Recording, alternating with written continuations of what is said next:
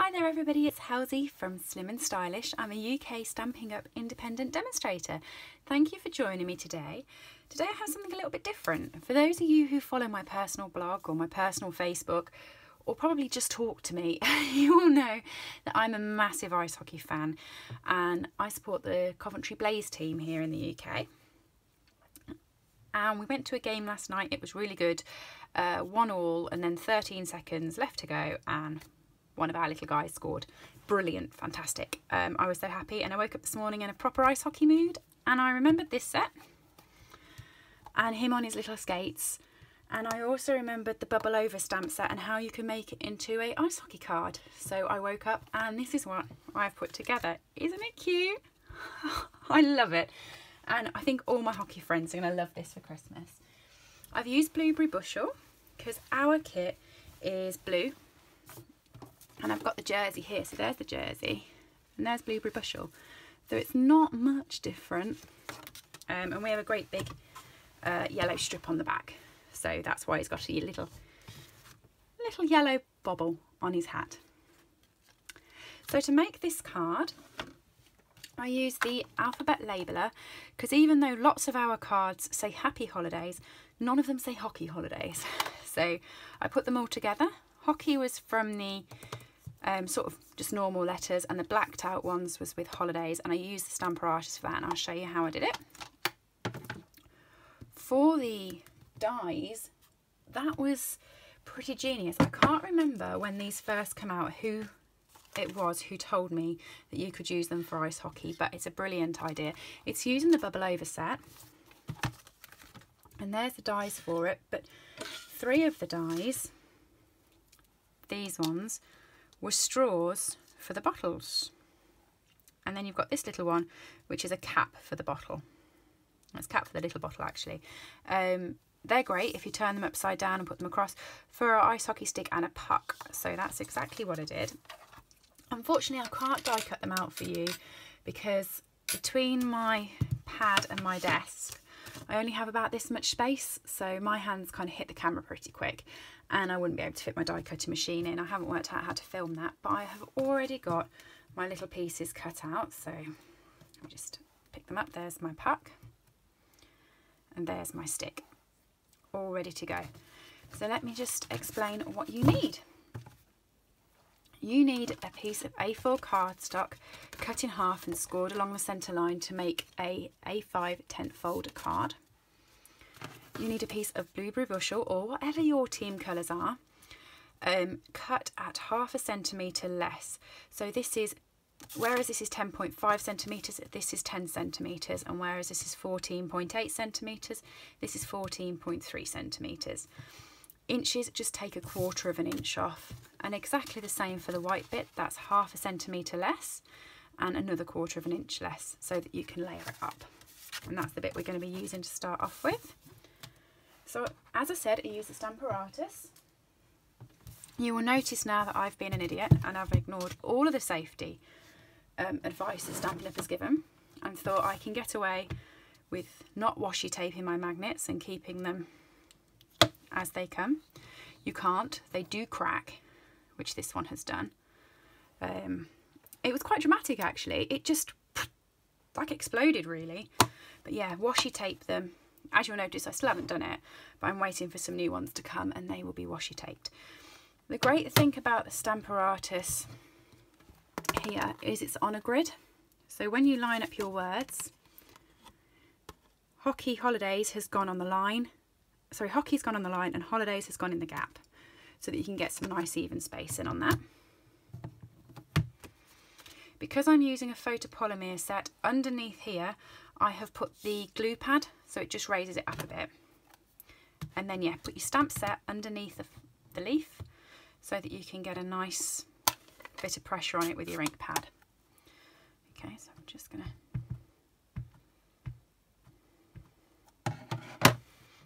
Really going to push down because I noticed earlier my eye wasn't stamping properly. So uh, I'm just going to push down on top of that. There you go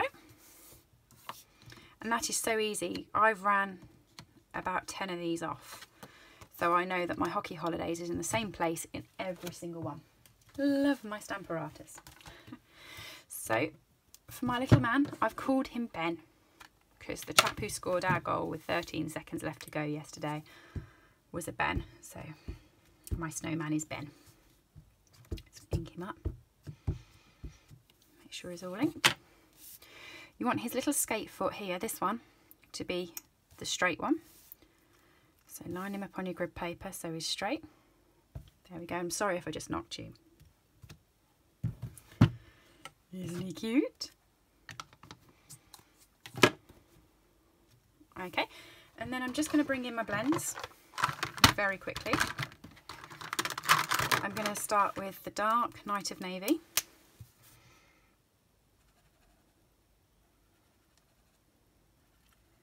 Try and keep in the lines. Whenever I try and do this quick for a video, I am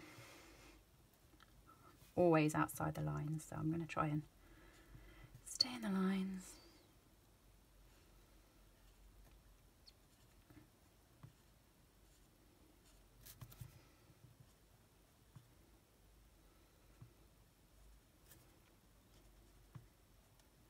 Not talking to you as well because I I find the more I talk in these the more the more erratic my um colouring tends to get. I've just dotted all of his buttons on the way down because I'm going to add the gold in but before I do that I'm coming in with Bermuda Bay, the dark one.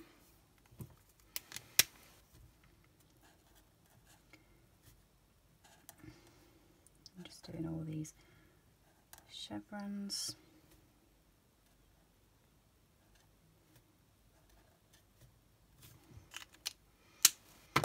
And then the light Night of Navy and I'm going to go over all of them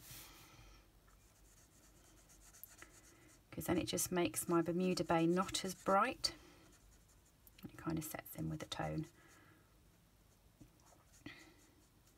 Was thinking one of my friend is a Steelers fan here not nowhere near a Steelers fan but they are um, orange and white so that would look quite nice because it would go the same colour as his nose.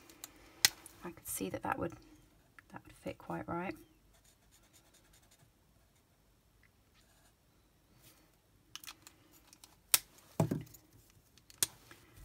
Okay, blend in the hat.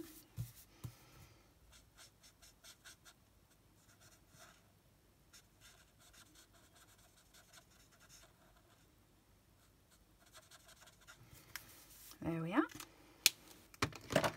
And then with the dark Daffodil Delight, I'm just going to pop a dot on all of his buttons so they gleam and a dot on his bobbles. And then in with the light, Delight. You know, considering blends aren't new anymore, I know we've got new colours, but blends come out earlier this year probably, right? No, it would have been earlier than that. About this time last year would it have been? They're not new, but um, I still use them in everything. I'm going to use the Smoky Slate. Forgot what colour that was. This is the light one, just to go round the corner of him, around his bubbles. It's quite easy, wherever is smudged,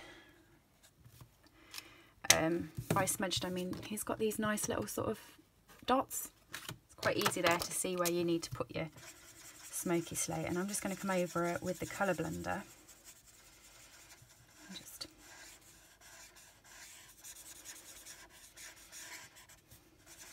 over the whole lot which just makes him a slightly dirty colour so he looks right for snow just makes them a little bit different to the background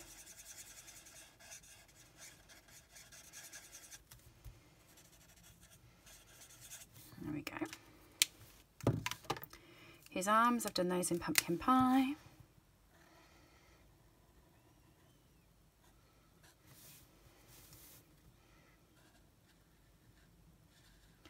I started off by blending the arms, but then noticed that there wasn't much difference, so I do just blend his nose.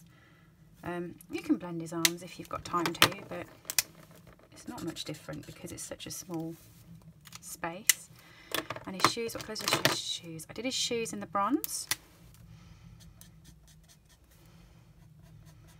So neat, aren't I? And then come over it with the crumb cake. I think this is why I like the blends. I'm not the neatest um, colouring. I, I, I don't think colouring is a word, but I get bored and that's when I mess up. But you don't have to be neat with the blends. It just, just does it. And then the darker smoky slate for his skates. And that is all you need to do with the blends. He's all coloured in. Okay, I'm just going to put my lid on that before I pop my hands in it. I did it earlier, can you see? I am so messy. And then when you're working with Whisper White, I always worry that once you've got your fingers stuck in it, you're going to get all your cards messy and oh, it's a nightmare. Right, so I'm just going to pop a little bow on here. This is using the um, new Incolour ribbon, which I quite like. Um, I normally like thicker ribbon than the thin ribbons, purely because I think it stands out more. So I, I try to avoid the little ribbons, but I do actually quite like this one. I think it's because it's ridged. So you know sometimes when you tie a bow and then it starts coming undone on the satin ribbons? Once you've tied it on this, it sticks. So let's just play with the bow for a bit because I can't get it right.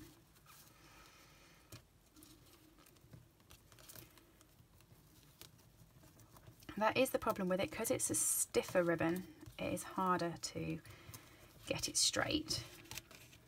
But once you've got it straight, it stays, which is good.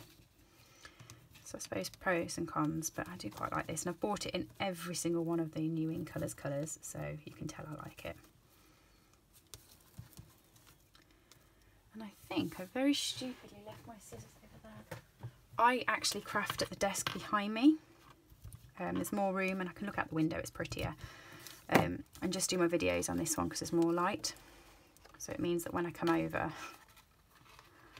I have to hope that I remember to bring everything. I'm just turning that because I want my ribbon straight.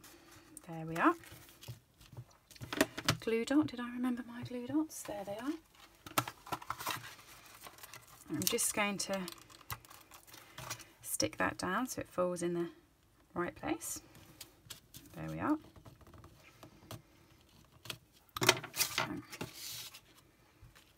some Tombow.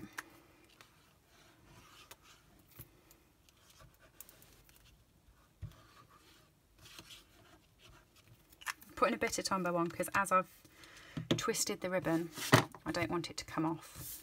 So.